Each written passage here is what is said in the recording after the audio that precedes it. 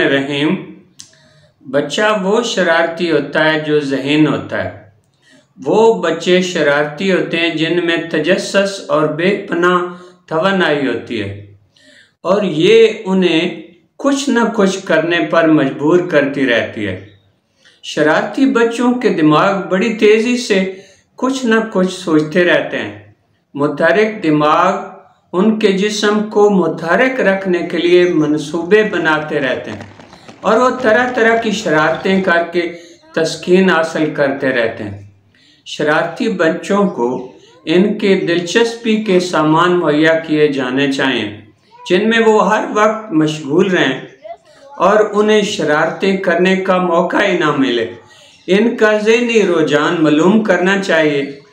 जिस तरफ़ उनका जहनी रुझान होगा इस तरह की चीज़ें मुहैया कर दी जानी चाहिए। वो शरारत करना भूल कर अपने पसंदीदा मशगले में मशगूल हो जाएगा।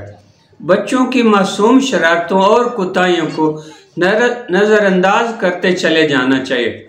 गुस्से में आने की बजाय इनकी मासूम शरारतों से लुत्फानंदोज होना चाहिए। वालदेन को अपने बच्चे की हर शरारत को अपने लिए परेशानी तस्वर नहीं करना चाहिए।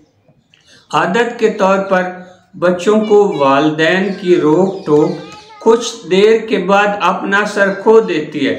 जब भी वालदेन बच्चे को रोक टोक करें तो एक लम्हे के लिए ठहर कर ये सोचें कि मैं ये रोक टोक माज आदत से मजबूर होकर कर रहा हूँ।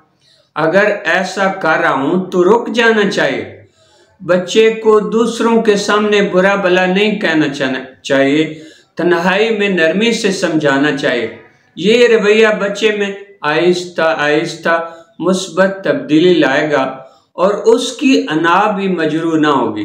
बच्चों के सवाल को गौर से सुने और इनके जवाब दें, वरना जहीन बच्चे अपने वालदेन की जानब से मायूस होकर गुस्से में शरारतें करने लग जाते हैं। बच्चों के सवाल से उनके जहनी झुकाव का अंदाज़ा कीजिए कि बच्चे को, बच्चे का दिल किस मशगले की तरफ़ है। अगर वो आउटडोर खेलों में दिलचस्पी लेता है तो उसे क्रिकेट का बल्ला और हॉकी वगैरह ला कर दे। अगर आपका बच्चा इलेक्ट्रॉनिक अशिया के बारे में बार बार सवाल पूछता है तो खिलौनों के बनाने वाला इलेक्ट्रॉनिक का सामान ला कर दे। वो सारी शरारतें भूल कर मशगले में मसरूफ़ हो जाएगा।